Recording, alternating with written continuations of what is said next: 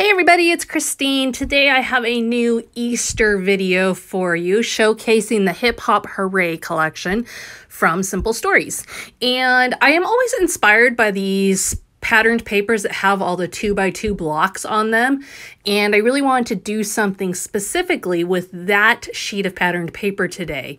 So what I'm going to do is I'm going to start things off by cutting it down so that I have each individual square available to me and I'm going to use those to create kind of a quilted look within my page. Now, keep in mind, Hip Hop Hooray is definitely an Easter themed collection, but it also is definitely a spring themed collection. So don't be intimidated by the fact that it has Easter in the title. Um, it is definitely very workable for the entire spring season. So what I'm going to do with this is actually a lift of myself that I've done before. Um, oh goodness, probably about five years ago, I did this same thing. And what I did is I took two by two squares and built a heart that looks like a quilt square heart on my layout. And funny enough, I actually did that with Simple Stories way back when, when I did it before too. Um, no video for it because that was long before my YouTubing days. But I thought, you know, I love the look of that layout. Every time I see it, I like it. And so I thought, you know, let's just recreate it and have some fun with it. So as I'm putting it together, I'm considering a couple things pretty similar to what I think quilters consider. Um, colors next to each other. I want a good mix of darks and lights. I want a good mix of patterns. I want a good mix of squares with words on them and squares without words on them. All of those things and you can see it's a pretty basic pattern to build up, um, but not difficult, not not hard, but there are definitely some considerations to take as you create it because you don't want all of them, all your yellow squares bunched into one area or anything like that. The one area that I did do the same was using my half squares, so the triangles. Those triangle corners I did do all on the same green patterned paper, but I didn't use that one specifically anywhere else within the heart. I was also intentional about trying to get certain ones on there. Like I knew I wanted some Easter bunnies in there. I knew that I wanted several with the Easter eggs in there. And so I'm trying to get those within there intentionally. Now, if you're looking at my base right now and going, what in the world? That's kind of a weird choice you are correct. I am using just a cardstock base. So this is not actually going to be my base. I'm just using this to build my heart because it's easier to build it on something and cut it out and then put it onto my layout than it was to build it on my layout and find out that I didn't like the position of it. So this is strictly a positioner, if you will, for my base. So you can see right now, I'm going to go ahead and cut it out. And that way I can make sure I've got it on there straight. I can also make sure that I've got it where I want it. If I want it further down into the corner, if I want it more in the center of the layout, all those things um, that would be unable to be fixed if I was gluing each square down straight onto my base. So just really taking a step out of it um, as far as the possibility for for messing it up um, and the possibility for tearing it back up. Um, so now you can see I have placed it onto a yellow patterned paper base. You'll also see I'm playing with my title and the title honestly took the longest of anything on this. I really had to mess around with things to figure out what I wanted to do for the title. And in fact, I kind of liked the direction I had the title going at this point, but I didn't like it for this layout the two did not fit together quite right. And so I ended up pulling the Happy Easter off of this layout and putting it onto a different layout, which I showed you last week. It was the one with the wood grain background and with the flowers everywhere. I ended up using that on that layout instead. It just felt like I was fighting my styles. That right now has a very loose, florally, soft, feminine look, and the rest of my layout has a very straight line graphic feel to it. And so it just was not coming together quite right. Um, but I leave it in there so that you can see, like, that's part of the process. Sometimes you just have things that you're like, eh, what am I going to do here? Now, I'm also doing something else here, which is kind of different and definitely different from when I did this layout the first time. And that is I am pulling up the edges. Again, a very trendy technique, torn edges, distressed edges.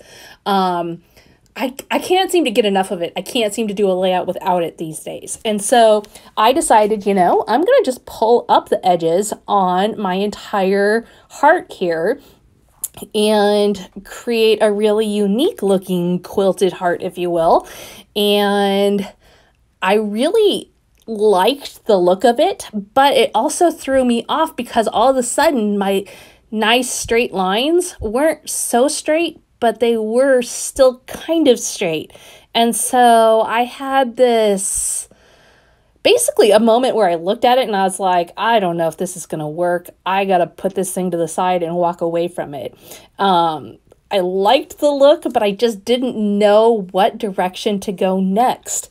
And so this layout actually got set aside for about 10 days until I came back and finished it. And you'll see the point in which I changed my whole background for my video changes. So you'll see where I, I came back to it and finished things off. Now, as I mentioned earlier, I love this yellow background that I've got going on for my base. I am going to go ahead and map that with some white cardstock just to make it pop a little bit more. And then I'm going to use my final base background as that plaid, plaid patterned paper that you're seeing me put it on there. I literally took every paper in this collection and set it on top to see which one I liked best.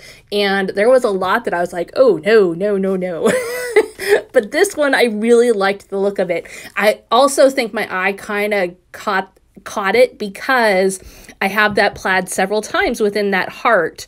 And so it was helping to unify the whole thing. And so I definitely that that helped me pick that one, I think, specifically. And I knew, you know, like I didn't want a solid color. I knew I wanted something colorful. So there was just a lot of different factors to consider. But in the end, this was the very best one. Now you can see I'm getting my heart secured on there and I have played with this a little bit. You could see that the yellow paper was already a little torn up. Um, but now we're going to switch gears. That was the point where I walked away and then now I'm coming back to it. I opted for a very simple title. I fussy cut Hoppy Easter out of some of the 6x8 patterned paper pad and I fussy cut it because I didn't want any background. I wanted it to be that off-white color. And then I put a banner um, piece from the ephemera above it that says good times. And I'm just going to add a few little clouds there up above it.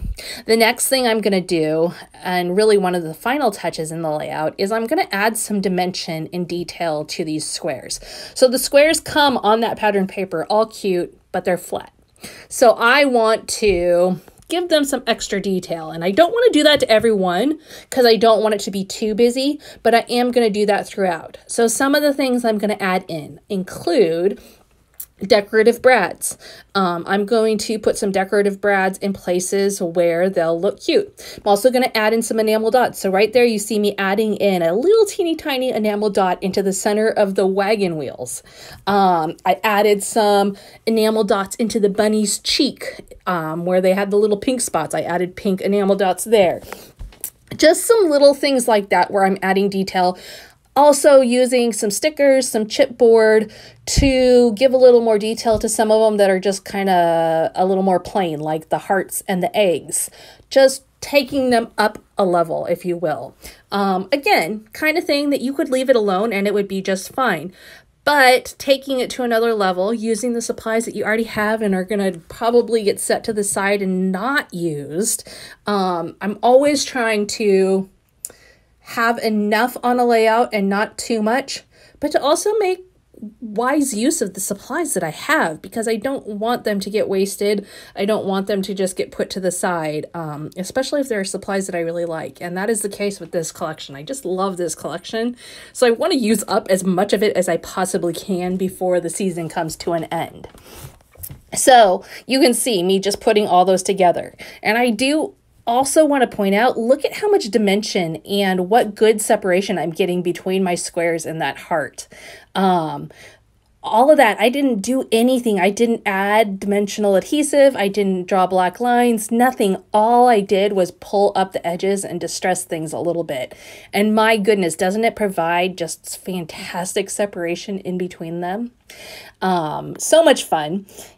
Now, I'm playing with my title here a little bit, just kind of trying to figure out how much is enough versus how much is too much. constant challenge as any scrapbooker knows. You're always trying to figure out what's enough for me versus what's too much.